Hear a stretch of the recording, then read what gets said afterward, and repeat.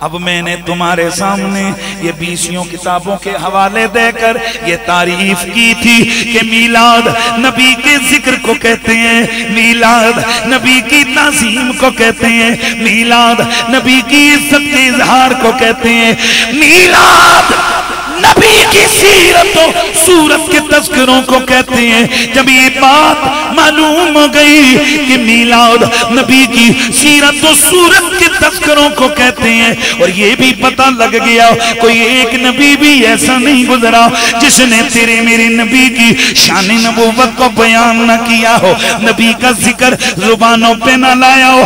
تو مجھے بلا خوف تردید، یہ کہنے دو کہ اللہ کے سوا لاکھ نبیوں میں سے کوئی ایک نبی بھی ایسا نہیں گزرا جس نے تیرے میرے نبی کا میلاد نہ کیا ہو۔ ایک نبی بھی ایسا نہیں گزرا۔ ہاں اب کوئی ان باتوں پہ آ جائے۔ اچھا جی ان نبیوں نے چنڈے لگائے۔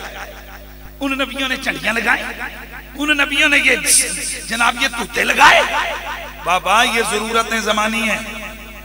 اس کا اس نفس عمل کے ساتھ کوئی تعلق؟ جاگنا ہے۔ اصل چیز ذکر ہے۔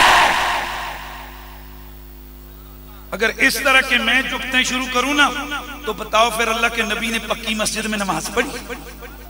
اللہ کے نبی نے کلینوں پہ نماز پڑھی؟ مسجد میں ہیٹر لگائے گئے نبی کے در میں ایسی لگے، پھر تمہاری نماز ہی نہیں ہے؟ نہیں نہیں، یہ تو ضرورت کے تحت ہے۔ پاپا جی ان جی یہ ضرورت کے تحت ہے۔ اصل مقصد کیا ہے؟ نبی پاک کی تعظیم اور نبی پاک کا ذکر۔ اسی لیے پھر ہمیں یہ صدا بلند کرنی ہے کہ یوں تو سارے نبی محترم ہیں، مگر سرور انبیاء، تیری کیا بات ہے؟ یوں تو سارے نبی محترم ہیں مگر سرور انبیاء تیری ایمان سے نعرہ تکبیر۔ دیکھو اگلے بندے میں لاج سن رہے پچھلے بالکل خاموشی نال بیٹھے ہوئے۔ پچھلے بندے نے آواز ذرا اونچا آوے دیکھو کتنا خوبصورت انداز نال محمد مصطفیٰ صلی اللہ علیہ وسلم دا ذکر ہو رہا۔ نعرہ تکبیر، نعرہ رسالت، نعرہ حیدری۔ یوں تو سارے نبی محترم ہیں مگر سرور انبیاء تیری والی دو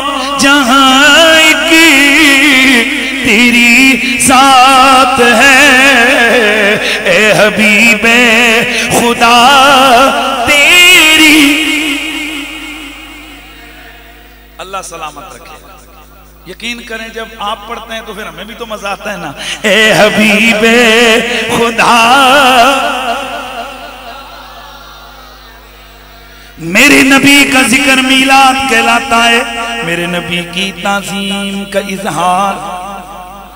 میلاد کہلاتا ہے اب ذرا دیکھنا یہ گئے کہ اللہ کے نبیوں نے میرے تمہارے نبی کی تعظیم کتنی کی، ذکر کتنا کیا۔ ایک نبی جناب حضرت عیسیٰ، آپ کی تعظیم کے اظہار کی ایک خبر دے کے وہ بھی قرآن حدیث سے نہیں، انہی عیسائیوں کی کتاب، انجیل برنباس سے، انجیل برنباس کے اندر موجود ہے۔ حضرت عیسیٰ کے شاگرد، حضرت عیسیٰ کے شاگرد انجیل میں حضرت عیسیٰ علیہ السلام کا یہ قول لکھتے ہیں، فرماتے ہیں کہ حضرت عیسیٰ نے آخری نبی احمد نبی کی، احمد کی خبریں دی اور خبر دے کے، بشارت دے کے ان کی شان کو کچھ یوں بیان فرمایا۔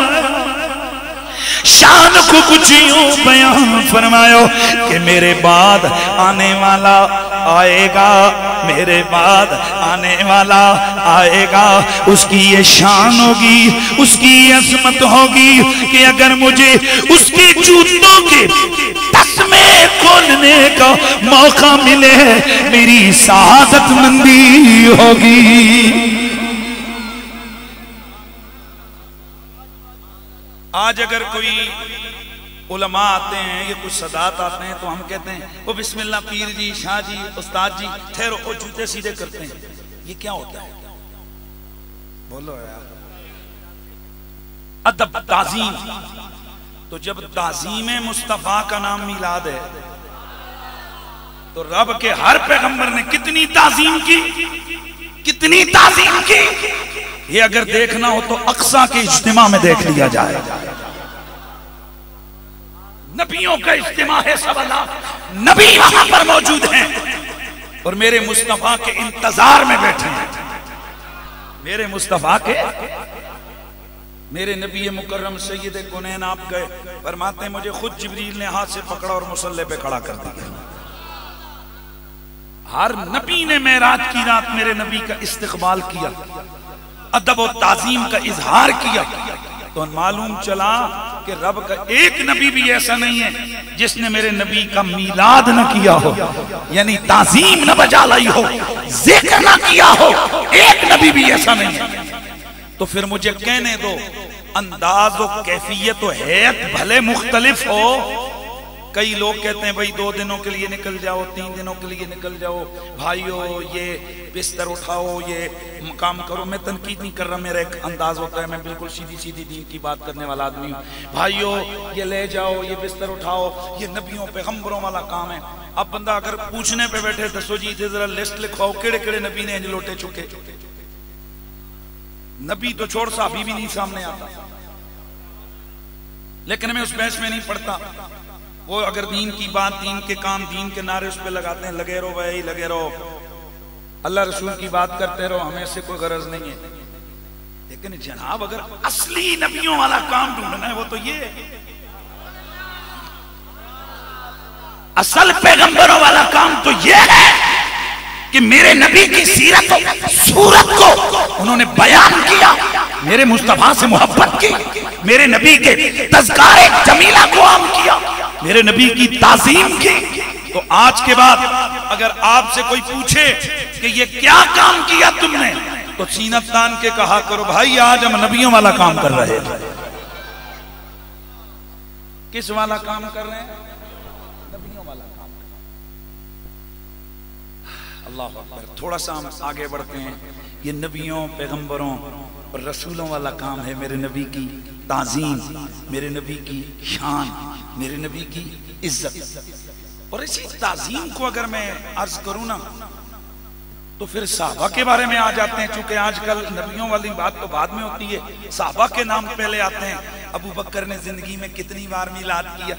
عمر نے زندگی میں کتنی بار میلاد کیا؟ عثمان نے زندگی میں کتنی بار میلاد کیا؟ فلان صحابی نے کتنی بار کیا؟ ہمارے لوگ بھی لے کے آتے ہیں۔ استاد جی اے سوال آئے دسو ابو بکر نے کتنی مار کیتا ہے؟ ہون توجہ ہے، میں تو اڈے کو لے پوچھا پاپا تو سن زندگی پانی کتنی مار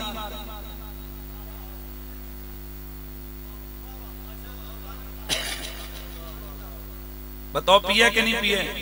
بتاؤ کتنی بار پیے آج تک یہ تو لوگ کہتے ہیں، فلانے حضرت صاحب نے زندگی میں حج اتنی بار کیے عمرے اتنی بار کیے، میں چیلنج سے کہتا ہوں، کسی بھی بڑی شخصیت کی زندگی کے اندر یہ کوئی لکھا ہوا ثابت کر دے کہ یہ لکھا ہو کہ انہوں نے اتنی بار پانی پیا۔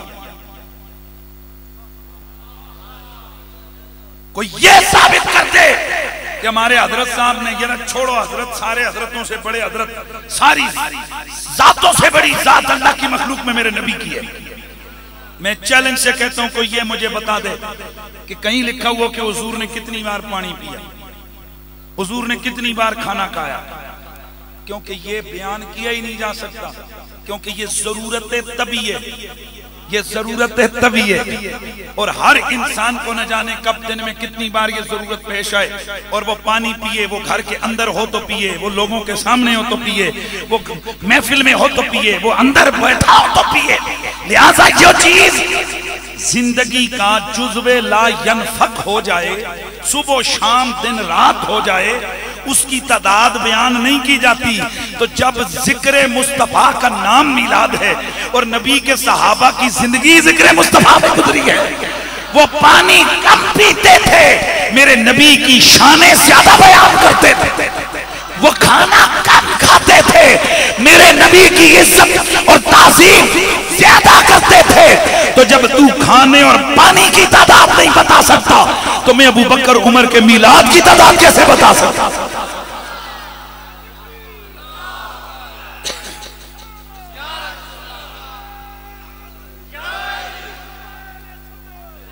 وہ کوئی تیری میری طرح تھوڑے تھے کہ مہینے یا سال کے بعد ایک محفل سجاتے، خدا کی قسم ہے لوگوں میرے نبی کے صحابہ کا مزاج یہ تھا کہ آپ ہر لمحہ میرے مصطفیٰ کی عزت اور تعظیم کے ہوگر تھے اور ہر وقت ان کی زبان پر ذکر مصطفیٰ کی بہاریں جاتے تھے۔ تعظیم مصطفیٰ کتنی ہے؟ یہ باتیں، روایتیں آپ نے پہلے بھی سنی ہوئی ہیں۔ ماشاءاللہ چیئرمین صاحب ہی آگے چیئرمین صاحب ہاں جناب، اس ویلے تو اسی پروٹوکول دینا شروع کیتے، جس ویلے تو انہوں نے نبی دے ذکر نو پروٹوکول دینا شروع کیتا اس تو پہلا چیئرمین صاحب ہی اتھے ہی سن تے اسی مولوی بھی اتھے ہی سن۔ اس کی وجہ یہ جو حضور کی عزت کے لیے آگے آتا ہے، دنیا خود بخود اس کی عزت کرنے لگتی ہے کاش کہ ہم اس رات کو سمجھ جائیں کہ اگر عزت دو جہاں مطلوب ہے، تو آمنہ کے لال کی عزت شروع کر دی جائے۔ حضور کی شریعت کی پاسداری شروع کی جائے۔ تو خیر میں عرض کرنے لگا ہوں، چیئرمین صاحب حد ادب کے وے کسے بندے کا ہم اگر کسی بندے کا حد ادب کرنا چاہیں، جتیاں چک لواں گے۔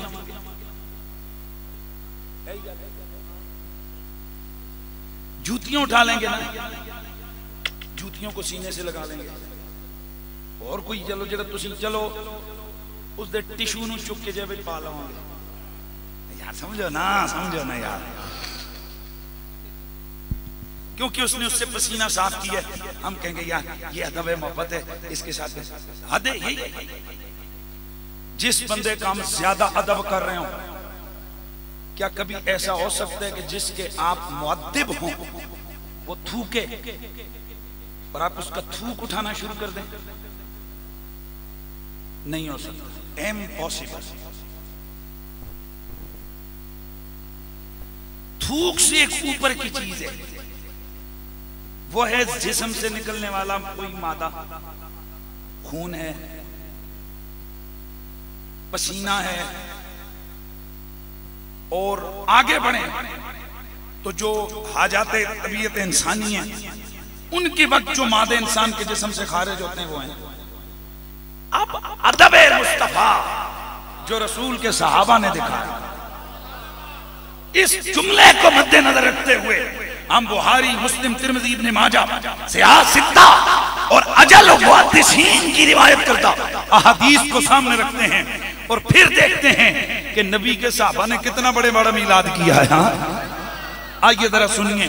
سب سے پہلے تو حدیث شریف میں آتا ہے، بخاری کے اندر ہے، وما تنخم النبی نخاما الا وقعت فی کف رجل منہم فتلق بعجلہ ووجہ میرے نبی کے صحابی فرماتے ہیں کہ حضور جب کبھی بھی کھنگار مبارک تھوک نیچے پھینکتے، وہ نیچے نہیں گرتا۔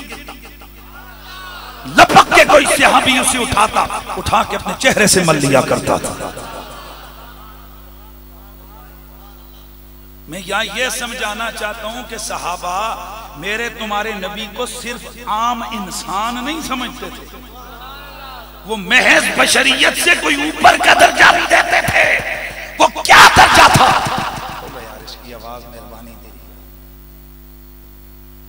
وہ کیا درجہ تھا؟ وہ کیا عزت تھی؟ وہ کیا کمال تھا؟ جو میرے مصطفیٰ کے صحابہ میرے مصطفیٰ کریم کی بارگاہ ناز کے اندر جو انہوں نے وہ سلسلہ روا رکھا تھا سنیے۔ میرے نبی مکرم، سید کنین صلی اللہ تعالیٰ علیہ وآلہ وسلم، میرے آقا جب کبھی وضو فرماتے اذا تبدى النبی قادو یقتتلون علا وضوئی صحابہ ٹوٹ پڑتے اس وضو کے پانی پر جو میرے نبی کے جسم سے لگ کے نیچے گرتا ہو، اس پانی کے اوپر یوں ٹوٹ پڑتے کہ بخاری کی حدیث ہے، صحابی فرماتی ہیں، یوں نظر آتا کہ ابھی اس پانی حاصل کرنے کے لیے صحابہ ایک دوسرے کو قتل کر دیں گے۔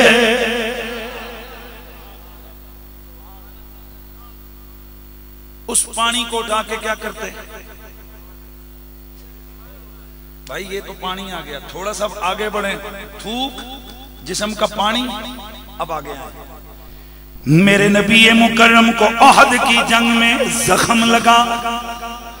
میرے آقا سید کنیل آپ کے اس زخم کے اندر پتھر کے ٹکڑے گھس گئے صحابی آگے آئے انہوں نے اپنا منہ لگایا میرے نبی کے اس زخم سے ادھر سے انہوں نے منہ لگا کر وہ, وہ ٹکڑے باہر نکالے توجہ سے ایک صحابی آگے بڑھے انہوں نے میری نبی کے زخم کے اندر جو لوئے کی ٹوپی کے وہ جو کڑیاں گھس گئی تھی، انہیں دانتوں سے کھیچ کے باہر نکالا۔ چند خون کے قطرے صحابی کے منہ میں چلے گئے۔ اب صحابی توجہ، اب صحابی رسول، پریشان ہے کہ یہ میں اگلوں، یا میں نگلوں، اگلوں، یا میں نگلوں۔ اب یہ عشق و عقل کے اندر جنگ شروع ہو گئی۔ عقل کہتی ہے کہ یہ جسم کا خون ہے۔ خون کو ہمیشہ پھینکا جاتا ہے، خون کو اس طرح سے نگلا نہیں جاتا، لیکن عشق بولا، یہ خون نہیں، یہ نورانی بشر کا تبرک ہے۔ خون نہیں ہے، یہ تو نوری بشر کا تبرک ہے، انہوں نے۔ جی بسم اللہ، ذرا میں بتانے لگا ہوں کہ نبی کے صحابہ نے، آج ہم ادھر ادھر دیکھو۔ اتنا کر دیں وہاں جناب، مٹی پہ جاؤں او میں صدقے جاؤں او بندے بنو، ہے تکو حضور دے غلام کی کر رہے تھے میرے نبی کے سیابی نے، میرے نبی کے تبرک کے وہ قطرے حلق سے نیچے ہی اتارے۔ اب اس بات کو کہتے ہیں نا، انداز بات بدل دیتا ہے فراد اگر نہ کوئی بات نئی بات نہیں ہے، اس کو جو دوسری کمپنی کہتی ہے توبہ توبہ توبہ صحابی نبی کا خون پی گیا۔ یہ دیکھو لفظ کتھوں کے چون کے لے آئے۔ ہم کیسے مان لیں؟ نبی کا صحابیوں کا نبی کا خون پی رہا ہے اچھا بول آدمی، گل نو سمجھ۔ ایک گل کس پیرائے میں جو ہو رہی ہے؟ کس انداز سے ہو رہی ہے؟ کس کیفیت میں ہو رہی ہے؟ کس جہت سے ہو رہی ہے؟ نبی کا صحابی کس طرح سے یہ کام کر رہے ہیں؟ اللہ اکبر صحابی رسول کے حلق سے جب خون کے حلق کے, اندر وہ قطرے اترے میرے نبی پاک ان کی اس انداز کو دیکھ رہے تھے۔ دیکھیں توجہ۔ میرے نبی نے یہ سوال نہیں کیا تو نے کہاں لکھا ہوا پڑھے کہ میرے خون کے قطرے نگل لے؟ اور دوسرے صحابہ نے بھی یہ نہیں کہا بھئی کدھر لکھا ہوا تھا کہ تو نے یہ پڑھا ہے؟ اس کا مطلب ہے کہ لکھیاں پڑھیاں دے رولے نویں شروع ہوئے جائے بنیادی چیز ہے ادب، بنیادی چیز ہے تعظیم، بنیادی چیز ہے احترام۔ اور صحابہ کو رب نے احترام کی کتنی تلقین کی تھی؟ اللہ رب العزت نے وَتُو عَزِّرُو وَتُو وَقِّرُو وَتُو و میرے نبی کی تعظیم کرو۔ اب وَتُو وَقِّرُو اس کا معنی بھی یہی ہے۔ اور میرے نبی کی تعظیم کرو۔ ایک منٹ، دھیان رکھنا، میں آپ کو کہوں، پانی پیو اور پانی پیو دیستا کہ مطلب یا اللہ دے بندے ہو انتے گل نہیں ہے۔ یہ میں بوتل دیتا ہوں، یہ پانی پیو۔ آرڈر آ گیا نا، پانی پیو، بات ختم ہو گئی۔ میں پھر کہوں، اور پانی پیو۔ تو اس کا کیا مطلب ہے؟ زیادہ پیو۔ یعنی پہلے راج چکے ہوں، راج تو بھی کج کے پیو۔ نہیں آ رہے ہیں نہیں آ رہے ہیں یعنی پہلے تو ظاہر ہے، جب بندہ پیاسا ہو تو پانی لچ کے پیے۔ اب رج کے پینے کے بعد پھر بوتل پکڑائیے۔ اور پی تو اس کا مطلب کیا ہے رج کے پیے۔ تو رب نے فرمایا وہ تو حضر ہو میرے نبی کی تعظیم کرو۔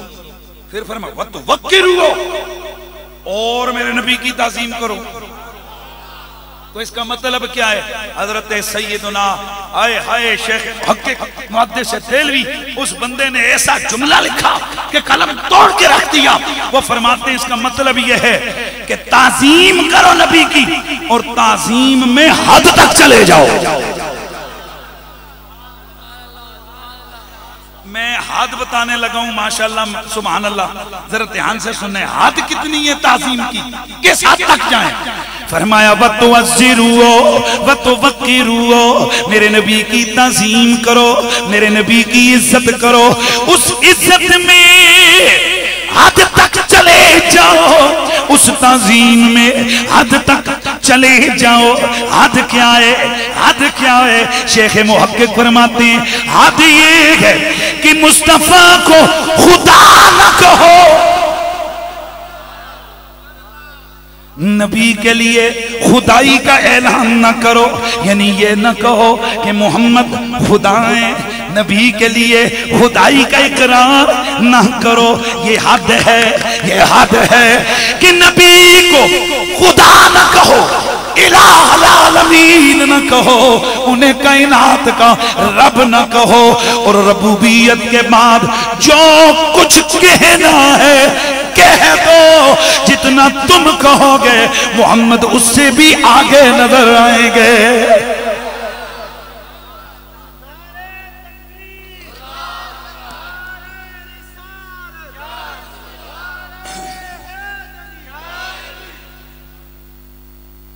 خدا نہیں کہنا میرے نبی کو۔ خدائی کے بغیر جو مرضی یہ کہو۔ اور یہ بھی ذہن میں رکھنا، جتنا تم کہو گے نا، محمد اتنا نہیں ہوں گے اچھا اب یار یہ ایک بڑا رولا بن گیا شیخ محقق نے جب یہ لکھا۔ یار یہ شیخ محقق اتنا بڑا آدمی ہے، اتنا بڑا محدث ہے ہندوستان، پاکستان کی جو پوری، یہ جو آپ کا سب کنٹیننٹ ہے اس کے اندر اس سے بڑا محدث کوئی نہیں گزرا۔ اتنا بڑا محدث اور ایک بڑی عجیب بات کرتا ہے، کہتا ہے، جتنا تم کہو گے خدا کے بعد، جتنا تم کہو گے، وہ نبی کی حد نہیں ہے، وہ اس سے بھی آگے۔ یہ کچھ سمجھ نہیں آئی۔ آئے ہائے آپ فرماتے ہیں، حد، ایک منٹ۔ یہ بندہ یہاں بیٹھا ہوا ہے۔ میرے اور اس کے بیچ میں تقریباً چھ یا سات فٹ کا فاصلہ ہے۔ یہ صاحب یہاں بیٹھے ہوئے میرے اور ان کے بیچ میں تقریباً چھ، پانچ، چھ فٹ کا۔ چیئرمین صاحب بیٹھے میرے اور ان کے درمیان آٹھ، سات، آٹھ فٹ کا فاصلہ ہے۔ وجہ کیا ہے؟ میں بھی رکا ہوں، وہ بھی رکے ہوئے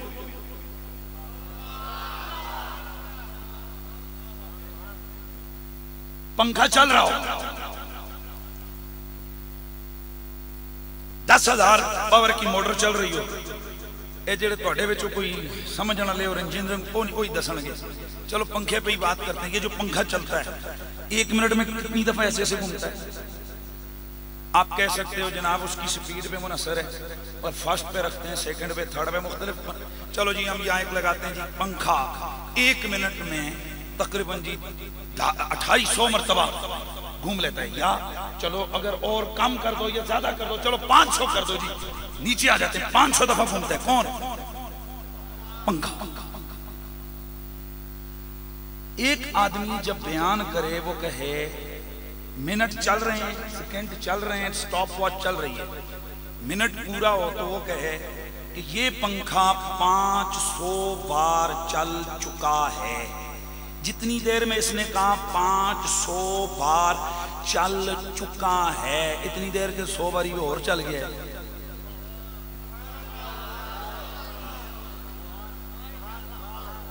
نہیں سمجھے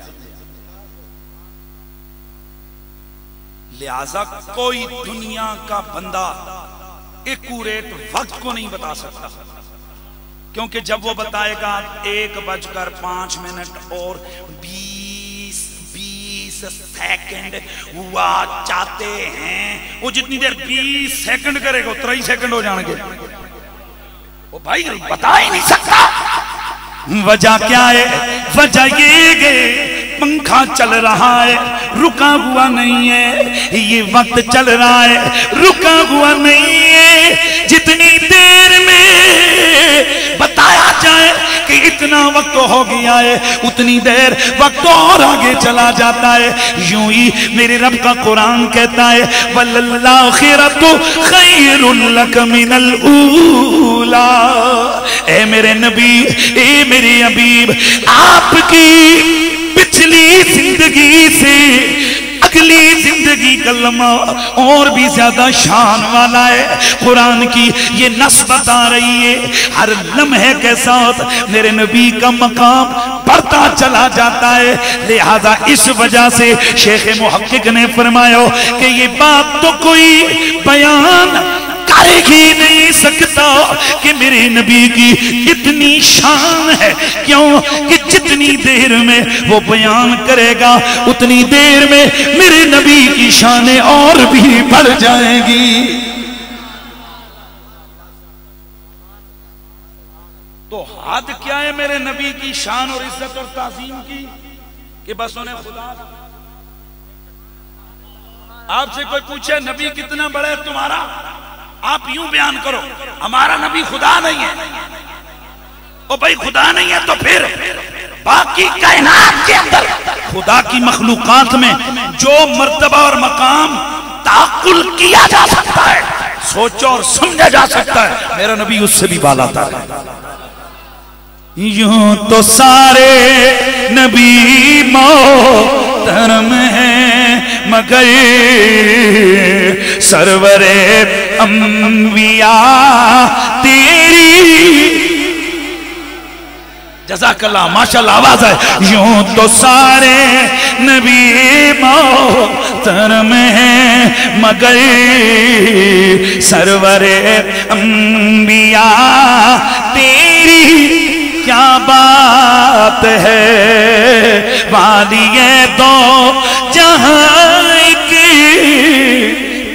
تیری ذات ہے۔ اے حبیب خدا، تیری تعظیم کی انتہا یہ گئے کہ بندہ بندہ کسی کا پسینہ جسم پہ ملے۔ کسی کا تھوک اٹھا کے چہرے پہ ملے، لیکن اس سے بھی اگلا رتبہ کیا ہے؟ میرا نبی آیا، میں علالت میں میرے نبی مکرم نے رات کے وقت میرے حضور نے ایک برتن میں بول مبارک قضائے حاجت فرمائی۔ صبح کے وقت میرے نبی کی صحابی آئیں، انہوں نے اس کو اٹھایا، اٹھا کر کے انہوں نے اسے نوش فرما لیا۔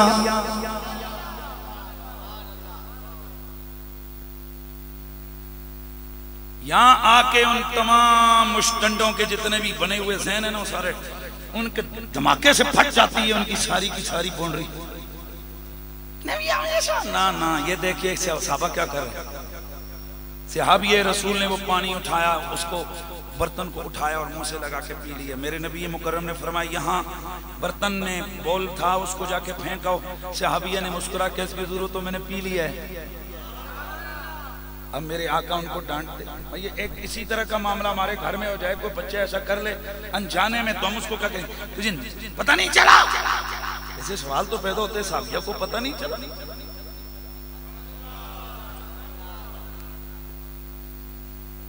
تمام صحابہ کرام رضوان اللہ علیہ مجمعین، آپ فرماتے ہیں کہ حضور کے مادے خدا کی قسم اعلیٰ قسم کے، کستوری سے بھی زیادہ خوشبو دیتے تھے۔ توجہ ہے؟ جس وقت صحابی رسول نے یہ نوش کیا، میرے نبی کو چاہیے تھا کہ کہتے، کیا کیا تم نے؟ کیوں کیا؟ خبردار! الٹی کرو! نہیں، میرے آقا مسکرائے، میرے نبی نے فرمایا، جا پھر تجھے کبھی پیٹ کی بیماری نہیں لگے گا ایک اور روایت میں حضرت شیخ محقق محدث دہلوی فرماتے ہیں۔ میرے نبی مکرم سید کونین صلی اللہ تعالی وسلم کی وہ صحابیہ، جس نے وہ تبرک سمجھ کے اٹھا کے پی لیا، اللہ نے اسے ایسا نوازا کہ اس کی نسل کی سات پشتوں کے جسم سے کستوری کی خوشبو بہتی رہی۔ اب میں اس سے بھی آگے کی تعظیم کی بات کی طرف جاؤں، لیکن شاید آپ میں سے کئی حضرات کے وہ برداشت جواب دے جائے، چونکہ ہمیں تو صرف ایک نبی بشر ہوتا ہے، نبی بشر ہوتا ہے، نبی بشر ضرور ہے، لیکن وہ ایسا طیب و طاہر لطف و لطیف نبی ہے کہ ان کے جسم کا ذرہ ذرہ پاک ہے، ان کا پسینہ پاک ہے، ان کے بدن کا ایک ایک ذرہ اتنا تبرک اور متبرک۔ اے ویسے میرے ایک سوال کا جواب آپ دو۔ اگر میرے نبی کا ناخن کٹ کے کسی ترازو پہ آ جائے۔ اس ایک ناخن کا مقابلہ کیا؟ کتنے کلو سونا کر سکتا ہے؟ چلو جی سونا نہیں، کوئی چاندی۔ بلکہ اگر میں یہ کہوں تو بے جا نہیں ہے۔ کہ اگر سونا کیا پوری کائنات ایک پلڑے پہ رکھو، میرے نبی کا ایک ناخن دوسرے پلڑے پہ رکھو، پلڑا میرے نبی کے ناخن والا بھاری ہو۔ میں آیا، میرے کانوں میں اللہ جزا دے، اللہ سلامت رکھے وہ بھائی۔ میں نام بھول جاتا ہوں ہر دفعہ۔ وہ بول جاؤ، قاری افضال صاحب۔ حافظ افضال صاحب، انہوں نے میرے کان میں فوراں کہا کہ جناب ذرا حضور دا ذکر بھی ہوئے تو حضور دیا بچیاں دا ذکر بھی ہوئے۔ تو میں بھی ایسا کوئی چونکہ ہماری تو پہچان ہی ذکر سرکار اور ذکر آلے بیت ہے۔ جی تو پھر میں کہاں چھوڑتا ہوں بھائی؟ موقع بھی ہو، دستور بھی ہو محفل بھی سجی ہو پھر سرکار کی آل کی محبت کے دعوے دار بھی آل ہوں۔ اور سامنے بیٹھے ہوئے بھی مولا علی کے ملنگ ہوں۔ اے بس، میں انج گل نہیں کیتی، میں چیک کر رہے ہیں کتنے فیصد بیٹھے ہوئے ہو۔ جناب ایک خطیب دے ایک انداز ہوتا ہے، ہمیں صرف اندازہ لگانا ہوتا ہے کہ کتنے۔ میں کہتا ہوں ایک بھی نہ ہو، میں تے آنا۔ یہاں تو ماشاءاللہ بڑی تعداد ہے مولا علی کے ذکر کو سننے والی۔ لیکن میں پھر دلیل دے رہا ہوں، اگر میری دلیل میں وزن نہ ہو، تو آپ مہربانی فرما کے یہ دلیل میرے، میری طرف واپس اچھال دیجیے۔ اور اگر وزن ہو، تو اور